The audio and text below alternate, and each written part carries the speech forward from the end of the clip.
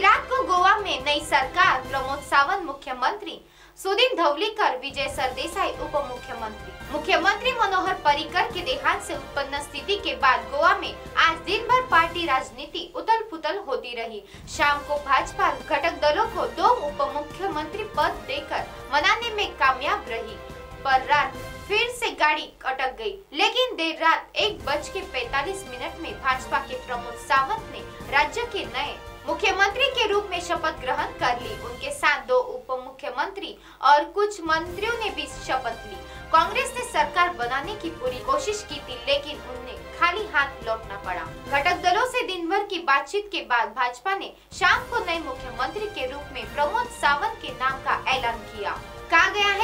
11 बजे शपथ लेंगे, लेकिन घटक दल फिर से रुट गए और आखिरकार संकट मोचन के रूप में केंद्रीय मंत्री नितिन गडकरी ने मामला सुलझाया देर रात 12 बजे प्रमोद सावंत और भाजपा तथा घटक दलों के विधायक राजभवन पहुँचे और राज्यपाल मृदुला सिन्हा को समर्थक विधायकों की सूची सौंपी गई। इसके बाद राज्यपाल ने सावंत की सरकार बनाने के लिए आमंत्रित किया काफ़ी इंतज़ार के बाद एक बज के पैतालीस मिनट में सावंत ने मुख्यमंत्री पद की शपथ ली। उनके बाद दो उप मुख्यमंत्रियों महाराष्ट्रवादी गोमांतक पार्टी एमजीपी के सुदीप धवलीकर और गोवा फॉरवर्ड पार्टी के विजय सरदेसाई ने पद की शपथ ली।